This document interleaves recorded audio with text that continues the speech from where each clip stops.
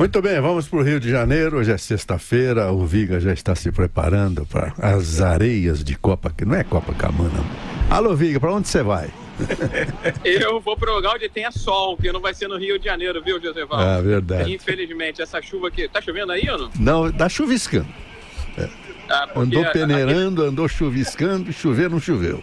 Aqui a gente tá numa seca danada, pô, seu Vila, não me entenda mal, por favor. Estamos numa seca danada porque não chove há 31 dias, por gentileza.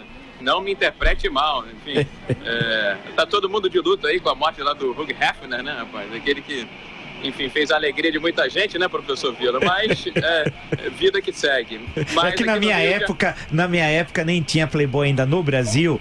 Eu eh, na época ou chegava americana, que era por contrabando, ou tinha Fair Play, que era uma revista que não existe mais hoje, era o máximo. Era tudo proibido. É, entendi. Mas, meus amigos ouvintes da Jovem Pan, as Forças Armadas começaram a deixar a comunidade da Rocinha em São Conrado, na zona sul da capital. Eu conversei ontem à noite pelo telefone com o ministro Raul Jung, mas ele disse que a situação está estabilizada.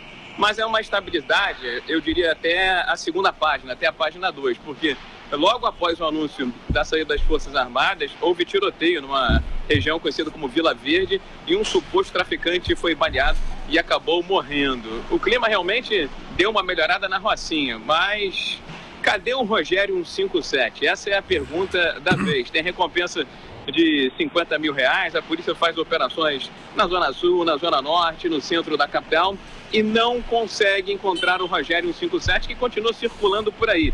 E para a gente ficar ainda um pouco mais assustado, né, professor Vila, Joseval, Tiago, ouvintes, internautas desse Jornal da Manhã da Jovem Pan, a Defensoria Pública da União pediu ao Supremo Tribunal Federal para que presos altamente perigosos, de alta periculosidade, eh, deixem as penitenciárias onde estão cumprindo as suas penas Brasil afora e venham cumprir pena aqui no Rio de Janeiro. É gente do tipo Nem da Rocinha, tipo Marcinho VP, Luiz Fernando Costa, o mega traficante Fernandinho Beiramar. Eu não entendo o que, que eles querem com esses 55 presos por aqui, companheiros. É, que já só pensou? faltava essa, né? Não, só faltava essa, né? E lembrar que o NEM continua com os privilégios, tem 27 advogados em, em Rondônia, que é 27 advogados. Ele tem dentista particular, em 14 meses recebeu 171 visitas, que dá uma média de três visitas por semana, uma a cada dois dias. E joga xadrez e determina essa guerra da Rocinha, uma briga, né, do Rogério 157, que se revoltou contra o NEM.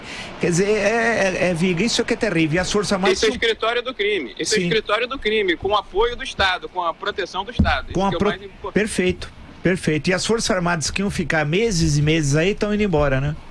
É, e custou uma, uma grana, e custaram alguns milhões de reais. Se na, na maré, aqueles 15 meses lá, eles gastaram quase meio bilhão, 500 milhões de reais, alguns bilhõezinhos significativos foram gastos nessa intervenção na Rocinha que serviu para estabilizar, como disse o ministro Junga, mas não resolveu o problema, porque os morros continuam com donos aqui no Rio de Janeiro, companheiros.